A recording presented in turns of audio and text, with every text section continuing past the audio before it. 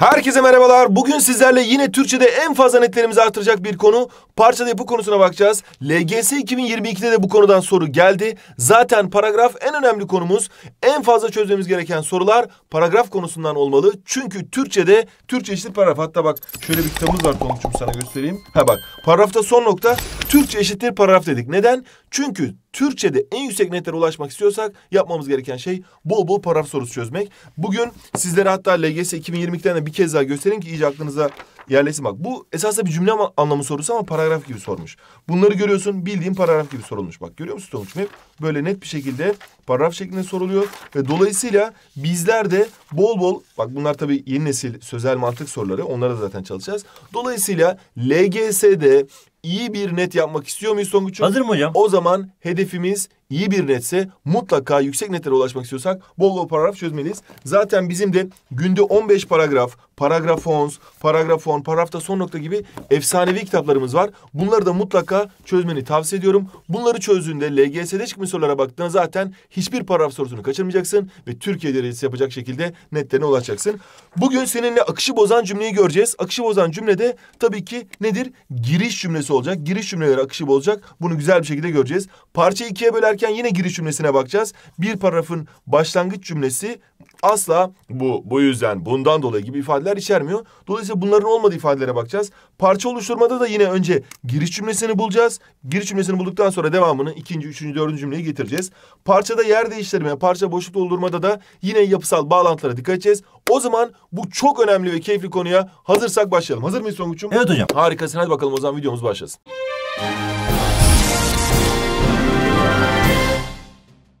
Şimdi biz parça anlam konusunda ana düşünceyi, konuyu bunların hepsini işlemiştik. Bunların içerisinde şimdi parça yapı konusuna giriş yapıyoruz hızlı bir şekilde başlıyoruz. Birincisi paragrafın giriş bölümüyle başlamak istiyorum Tonguç. Paragrafın giriş bölümü paragrafın yani parçanın metnin ilk cümlesidir. Ve bu cümlelerde asla bundan dolayı, bu nedenle, buna karşın, buraya kadar, bunun için, bu, şu, öteki, öyle, böyle, böyle ifadeler olmaz. Yani bir paragraf şöyle başlamaz. Fakat ne fakatı ya? Ne dedin ki fakat diyorsun. Yani bundan dolayı, neden dolayı ya neden bahsediyorsun? Dolayısıyla ilk paragrafta bunları asla ve asla istemiyoruz. İlk cümlede bunlar olmaz. Numaralandırılmış cümleleri sıralayın dediği zaman size ne yapacaksın Tonguç'um? İçerisinde böyle olan bir cümlenin, bu kelimelerden biri olan cümlenin asla ilk cümle olamayacağını bileceksin. Gelişme bölümüne baktığımızda ise giriş cümlesi konunun açıklandığı, yardımcı düşüncelerle beslendiği bölümdür. Hatırlarsan ana düşünce düşüncelerin neydi? Ana Anasıdır. Ana düşünce düşüncelerin anasıydı. Yardımcı düşünceler ise ana düşüncenin yavrusuydu. Onu destekliyorlardı böyle yandan yandan. Dolayısıyla gelişme bölümünde yardım düşünceler fazlalıkla vardır. Sonuç bölümü ise asıl anlatılmak istenen düşüncenin genellikle sonda olduğu cümlelerdir. Bak bunu her zaman söyledik Tonguç sana bir kez daha söylüyoruz. Nasıl bir filmin son 10 dakikasını izlemeden çıksan filmi anlayabilir misin? Aha hiçbir şey anlayamam hocam kafayı yerim. Kızla oğlan acaba evlendi mi? İyiler kazandı mı? Kötüler kaybetti mi? Ne oldu dersin? Merak edersin. İşte aynı şekilde bir paragrafın da genellikle bak ama genellikle yüzde yüz değil. Genellikle son cümleleri çok önemlidir Tonguç. Son cümleni okuyup anlaman gerekir ve bağlayıcı öğeler. Bundan dolayı özetle, sonuç olarak yani gibi cümleler hep e, kelimeler hep sonuç bölümünde yer alır. Parça tamamlamaya baktığımızda eğer kısaca özetle gibi ifadeler varsa burada ne yapmamız lazım? Parçayı tamamlamamız lazım. Ana, geç. ana, ana fikri veren, ana fikri veren bir cümleyle devam edilir. Niye? Çünkü kısaca özet ediyor. Parçanın bütün özetlemen lazım. Düşüncenin yönünü değiştiren ancak, fakat, lakin, ama, halbuki gibi ifadeler varsa anlatılanların tersi bir düşünceyle devam ettirmemiz gerekir. Burası önemli. Parça iki paragrafa ayırırken ikinci paragrafın ilk cümlesinde asla önceki cümleleri çağrıştıran söz ya sözcükler olmamalı. Yani ancak, çünkü, ama, fakat, bundan dolayı bunun gibi D gibi ifadeleri kullanırsan bir paragrafı ikiye bölemezsin. Çünkü ikiye böldüğünde ikinci paragrafın ilk cümlesinde bunlar olmamalı. Niye? En başta söylediğimiz gibi bir paragrafın giriş cümlesinde bunları asla istemiyoruz. Böyle şeyler olmaması lazım. Paragrafta anlatımın akışını bozan cümleyi zaten şimdi anlatacağız detaylı bir şekilde. Şimdi cümlelerden biri ele alınan konulardan uzaklaşırsa akış bozuluyor. Mesela şöyle düşün. İlk cümlede Anadolu'da misafirperverlikten bahsetmiş. İkinci cümlede Anadolu'da misafirperverlikten bahsetmiş. Üçüncü cümlede misafirlikten bahsetmiş ama misafirlikte dikkat edilmesi gerekenlerden bahsetmiş. Yani konu biraz dışına çıkmış. Dördüncü cümlede Anadolu misafir, Anadolu'da misafirperverlikten bahsetmiş. Biraz hızlı konuşuyorum hani kamp hızlı gitsin diye. Şimdi sen diyeceksin ki hocam burada 1'de, 2'de, 4'te aynı şeyden bahsediyor. Bayağı ama- karışıkmış hocam gerçekten de. Tabii bunu anlaman lazım. Ben burada çok net gösteriyorum. Bunu anlaman için sana birkaç tane tüyo vermek istiyorum Tonguç. Böyle bir soru geldiği zaman bak şimdi 1 2 3 4 5 yazdım. Anadolu misafirperverliği geçiyorum. Numaralanmış cümlelerden hangisi akışı bozar dediği zaman şöyle diyeceksin. Yandaki adam niye öyle ters ters bakıyor hocam? Sinirli. Çünkü o soruyu doğru yapmanı istemiyor. Sen taktiği görünce hemen doğru yapacağını biliyor.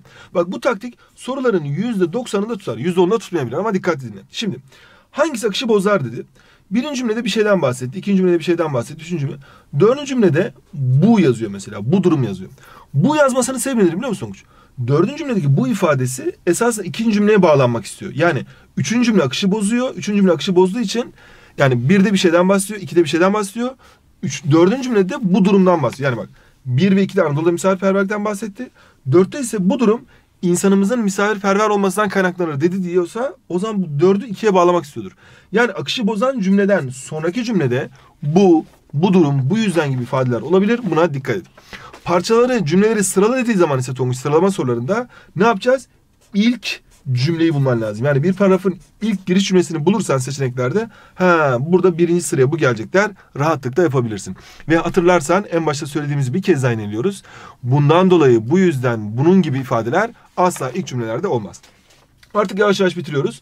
Paragrafta yer değiştirmeye baktığımızda bu tür sorularda da parçanın akışını bozan cümleyi bulmayla benzer taktiklerle çözüyorsun. Yani ne yapıyordun? Birinci cümle var, ikinci cümle var, üçüncü cümle var, dördüncü cümle var. Akışı bozan cümleyi sen bulduysan o zaman bu paragrafta akışı bozuyorsa bunun ya buraya konması gerekir ya başka bir yere konması gerekir. Buradan da anlayabilirsin. Soru hangi paragrafı, bu paragraf hangi sorunu yanıtır dediği zaman yapısal bağlantılara dikkat etmen lazım. Ana düşünceye dikkat etmen lazım. Mesela der ki bu soru hangi paragrafın, bu, bu, e, bu soru veyahut da bu paragraf hangi sorunun cevabıdır dedi. Sen şimdi önce paragrafı okuyacaksın. Tamam. Paragrafın girişindeki yapısal bağlantılara dikkat edeceksin. Nedir bu? Mesela evet diye başlıyorsa paragraf ya da hayır diye başlıyorsa sorunun da evet ya da hayır gerektiren bir cevap olması lazım. Veyahut da çünkü diye başlıyorsa niçin diye bir soru sormuş olabilir adam. Sen de ona dikkat etmelisin. Ama bazen çünkü diye başlamaz. Buralarda bir şeylerden bahseder. Son cümlede çünkü der. İşte bu yüzden ben işte ne bileyim şairliği gerçek bir meslek edindim der. O zaman soru ne? Şairliği neden gerçek meslek edindiniz? O zaman bu sorunun cevabını ana düşüncede son kez özetlemiş ve sorunun kökünü son cümlede dile getirmiş. Dolayısıyla bu tarz sorularda da paragrafın bütününü okuyup son cümlelere dikkat etmelisin. Şimdi Tonguç, yeni sınav tarzında sana böyle bir uzun paragraf verip o paragrafa bağlı dört soru soracaklar. Bu tür sorularda önceki videolarımızda söylediğimizi bir kez daha tekrarlıyoruz. Mutlaka önce soru kökten okuyorsun, sonra soruya bakıyorsun. Ve bir kez daha parçada anlamda söylediğimiz uyarıları yeni- yinelemek istiyorum. Önce soru kökü, sonra paragraf okuyoruz. Sorulardaki değildir gibi olumsuz ifadelere dikkat ediyoruz. Aklımıza gelen ilk seçeneğin doğru olma olasılığının yüksek olduğunu unutmuyoruz.